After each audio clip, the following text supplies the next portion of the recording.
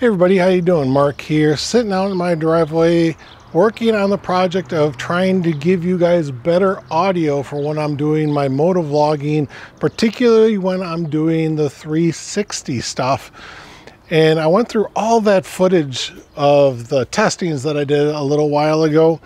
And one of the ones that stood out to me is having the better audio and better comfort for me was actually having a taller windshield.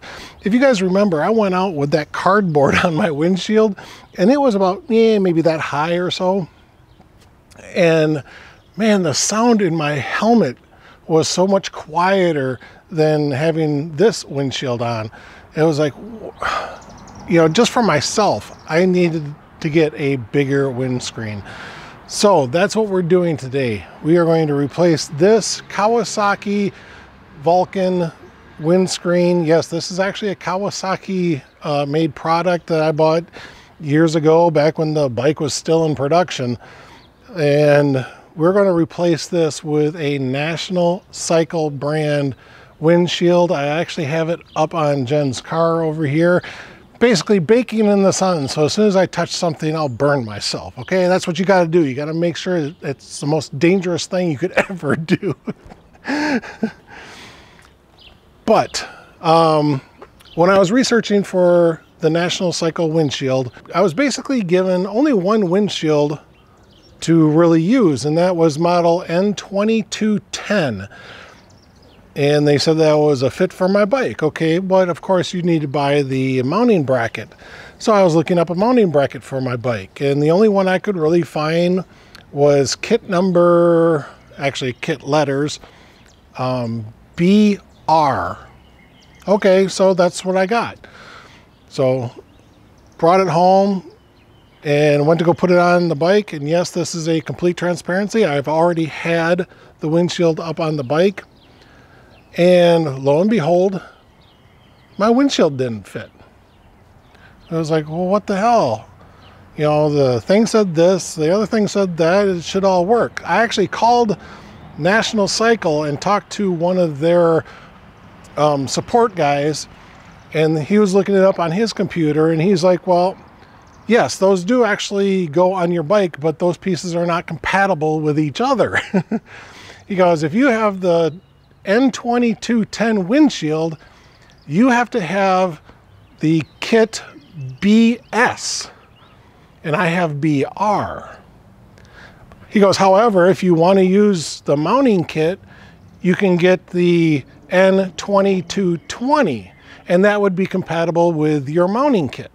So yeah, there was two windshields that would fit, two mounting kits that would fit, but they don't fit each other. but after I did a little bit of research, I found that the BS mounting kit just included a really long spacer in the kit to make up for the distance. So I basically went down to the hardware store and I bought three quarter inch spacers, but I bought two of them for each bolt. And then of course I had to get a longer bolt because the ones that came with the uh, mounting bracket weren't going to work either because they were only like, uh, I think 25 centimeters long, or not centimeters, millimeters long. And those didn't work. So I had to get something bigger and I got something that's like uh, three inches. They're a little long, but hey, they work. So what I want to do is I'm going to show you taking this off, mounting up the new one. Let's get into it because I know that these parts are hot and I'm just really raring to touch them right now. All right, so I'm going to take off the four bolts here. I got one up here, one down here, and same on the other side as well. All right, there's one. There's two. All right, this one's a little tricky because I gotta hold the windshield as I'm undoing this last bolt. That way the windshield doesn't fall to the ground. All right, there we go. Four bolts, windshield is off. All right, now that I got the windshield off of Angel there, so as you can see, all gone.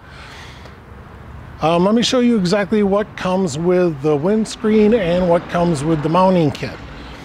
The windscreen, that's it. That's basically what you get. So you get the windscreen and all the brackets and stuff. You get the uh, brackets underneath here as well. And then for the mounting kit, you get two 16 uh, millimeter long Allen bolts, two short washers, two 20 inch or 20 centimeter or millimeter, sorry, uh, Allen bolts with slightly larger washers. You get these two um, pinch brackets, I guess is what we'll call them right now. And then you actually get four of these. I misplaced one. I don't know where it went to. But again, these are a 25 uh, millimeter Allen bolt. And what I mean by an Allen bolt is because it's actually got the, um, the Allen bolt uh, hex in the middle. So it takes an Allen wrench. But like I said, the systems do not go compatible with each other on a 1600. Sorry. I haven't used this camera in so long, it's hard for me to judge where I need to be putting things. so this is what I found out I needed to do to convert this uh, kit BR into a mounting kit BS. All right. We basically will not be using the 25 millimeter Allen bolts at all. I went out and bought new uh, mounting bolts. I think mine that I bought are three inches long. You don't really need to have them three inches. You might be able to get away with about a two and a half. And then I bought eight of these three quarter inch spacers and I'll use two of them per mounting uh, area, okay? So let me show you exactly how we're gonna do it. Now, if you order the mounting kit BS, you will basically get one spacer per larger bolt, okay? And I think they're like a 50 millimeter long bolt, something like that. All right, guys, so here's our bracket that we're gonna put on this side. And the uh, windshield mounting tabs are going up. You got this long piece here at the bottom, and that's going towards the bottom of our mounting area. We're gonna put the large bolt through. We are going to put the large spacer onto the bolt. So it's between the uh, the fairing and the and the mount. Now at the bottom I got the shorter bolt that goes on I've got the thinner spacer and it's almost like a big fat washer then that goes on and then again I'll just do it finger tight I'm going to grab my five millimeter Allen key and screw it in the rest of the way. Now do the same thing up at the top, just finish screwing it in all the way. All right guys, same thing for the other side. You stick the bolt through the top hole, put the large spacer on, and then we'll just get that going, get it started reach in my pocket, get my other one, put the bolt through, then put the spacer on the back side, and get that going in the hole. And then we just tighten them up. All right, now we're gonna put the windshield on. As you can tell, that's why you need the spacers. There's a lot of difference, a lot of space to make up. I'm going to grab a bolt. It's going to come up through the side there. This black piece is going to go on top and down over the bolt. And then I put my two spacers on just like that. And now I'll put it in and start tightening up. Get that bolt going into the uh, pre-welded nut right there. All right, that's all I'm gonna do for now because I gotta do the other one now. Of course, this one's gonna be a little bit trickier, but it will go through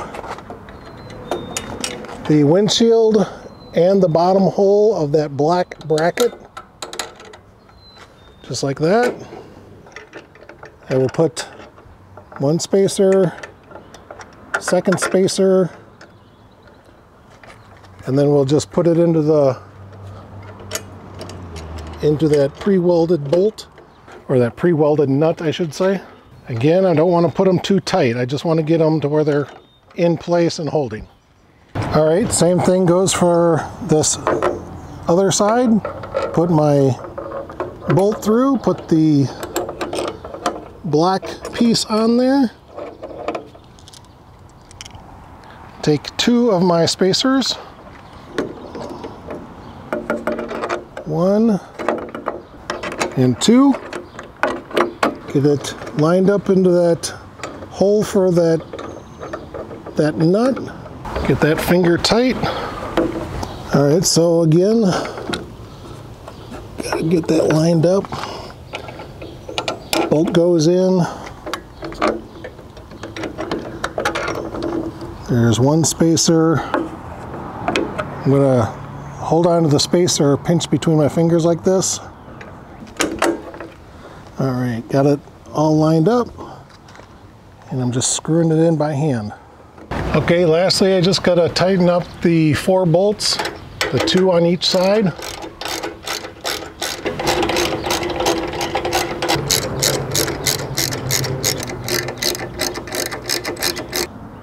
All right, tighten that up, tighten that up. All right.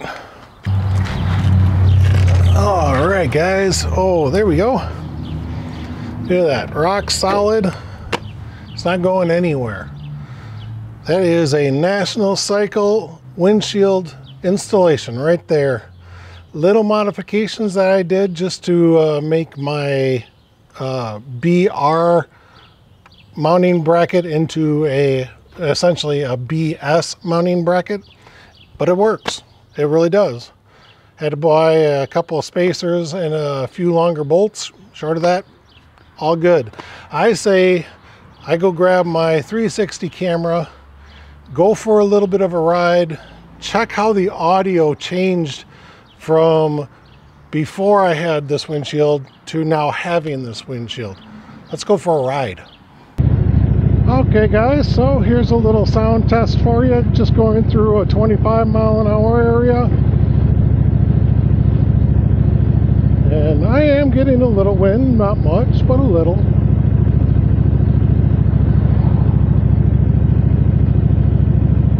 So the real test I think is going to be when we get out to the country, get up to 55, 60, see what the uh, audio is like then, right?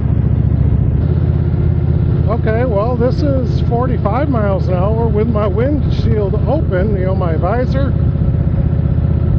So I'm kind of curious on what the sound's going to be like doing this at 45 because this is normally where my sound audio would start turning to crap. Then I'll just drop my visor real quick.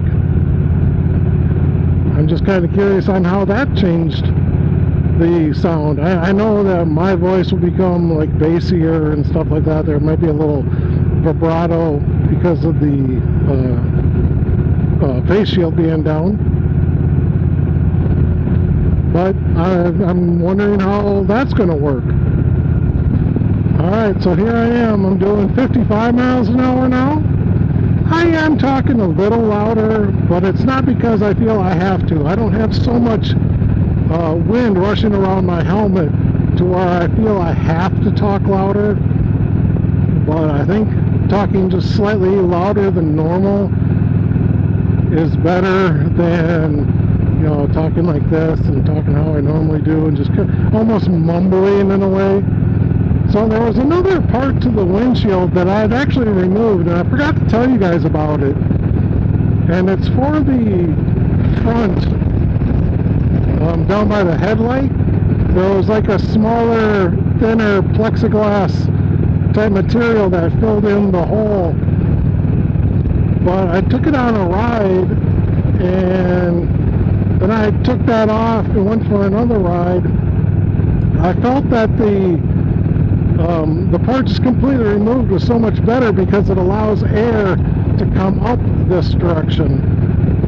You You know, I, I don't feel like I'd be uh, overheated or anything like that because all the airflow is being blocked from hitting me on these hot days. I mean, it's coming up on 85 degrees today and I'm actually feeling comfortable. I got a little wind coming up from underneath the, the windshield, hitting me in the chest, pulling my body down. It feels nice, it really does. I gotta tell you guys, my helmet is so much quieter that I can actually hear things. I can hear like the slap of my cam chain. You know, that's the Vulcan motorcycle is a very loud motorcycle because of that cam chain and I can now hear it. I can hear a little buzz of the cam chain. I can hear more pops from my uh, muffler system. So that's kind of interesting. I usually don't hear stuff like that. Uh, when I was going through, uh, just through the city, in the smaller, slower 25, 35 mile an hour areas, I could actually hear my front tire on the pavement just kind of on the front pavement. You know, again, that's a sound I don't really hear because of that wind noise around my helmet. But now, this is wonderful. Alright, so I think that's a good enough wind test for this portion of it. I think I'll keep the video going until I get the second uh, installment of this uh, audio uh, fix, I guess is what I'll call it. When I get that Tentacle Track E system, we'll see how the audio does with that. Okay everybody, the day has come. I finally got my Tentacle Track E package in the mail. So I want to just show you exactly what comes with this. And I'll just give you a heads up. I've already been playing with it a little bit, so this is not an actual open box reveal, first thought impressions, okay? I've been playing with it for pretty much the whole day. So here's the little unit, the tentacle track there is a uh, door there for USB. This one is your microphone plug. This one here is for headphone jacks. That there is a USB-C charging port. And then here is the only switch you need that turns it on, turns it off, starts and stops recording. So yeah, very simple device. You just pull it down until the uh, lights go on. That means it's turning on. Now it's on. The white means that it is uh, in standby mode. Then you take that button and you push it up towards your little colored ring here. You see that it turned red. That means that it's re recording. You push it up again and that means it's gone white. So that means it's stopped recording. And then you pull it back down starts flashing for a little bit, turns off, and now the power is off to the unit. Very simple uh, unit there. Comes with a USB-C cord. And in this little packet here is the little metal wire clip that you can put on. I have no need to use the clip, so I'm not worrying about it.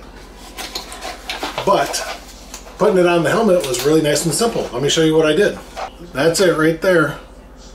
Yep, the return of the dual lock. I put a pad of it on the back as well.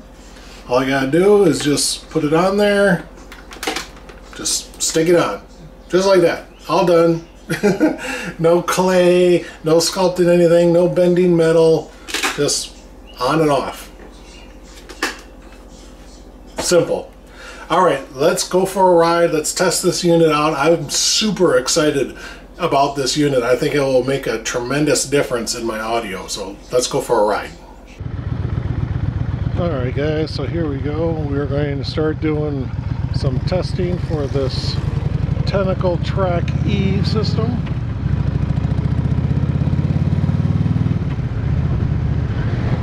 So this is typical 25 mile an hour right here. And I'm sure that the audio is going to be fine. Uh, the wind is blowing a little bit today, so that will be a little bit different from when I was just doing the windshield test uh, a few days ago. Might have to drop my visor down, my uh, my sun visor, just because even though it's cloudy and overcast today, it's almost like it. It's almost like making it feel brighter. There's like light everywhere.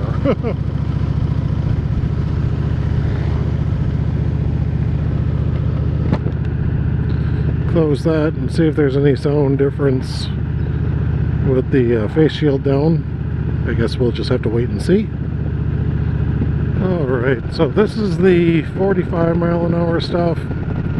And before I was getting pretty decent audio with just the windshield, not having the, the tentacle on there. And just up through here is coming up to 55.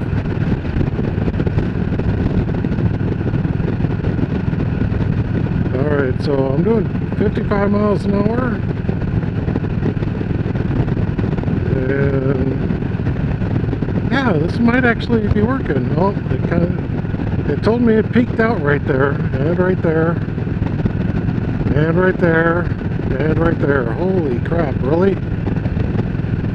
I thought this 32-bit float system wasn't supposed to peak out. Now, I don't know if that's telling the system that it's peaking out and that it has to adjust for something. It's still flashing that it's peaking out.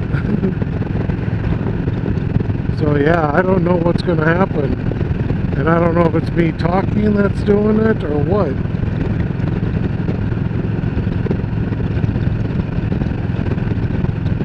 Alright, now I wasn't talking there and it peaked out, so it's grabbing just wind noise from around the helmet and it's kind of telling me that it's peaked out. Wow, that one's flashing a long time. Seems like it's telling me that it's peaked out more than it's actually uh, not peaked out. So I don't know what that means, guys. I won't know until I get home, load up the footage, see what it's got. I've got the gain turned down as far as it will go. I cannot actually turn it off. It's at plus six no matter what. I kind of wish there was a way I could just turn it off, but I can't. Um, I also have the lows cut out, so I don't know if that, if I turn it on, is that going to make any difference? So, I'll probably get more low-end noises now and it seems like the uh, seems like the meter stays red longer so yeah maybe it's better to have that have that turned on then maybe I don't know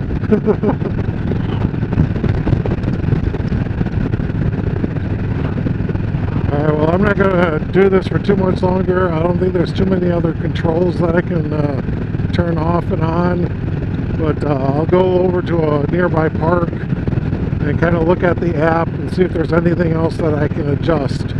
I don't think there is. Alright guys, so that concludes my test and I tell you, I think I got it pretty well. I mean, there's still wind noise and stuff like that, and you're going to get this, especially when you have a three-quarter face helmet like I've got. But yeah, I'm very happy with the audio that I'm now getting.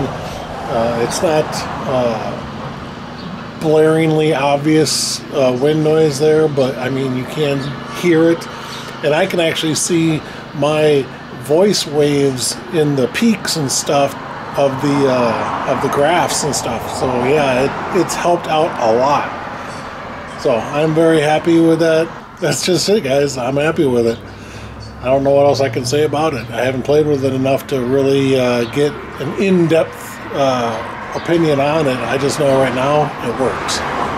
All right, well, this is Marc saying thanks again for watching. Always believe, guys, that you can go out, have your adventure, and enjoy life. Bye, guys.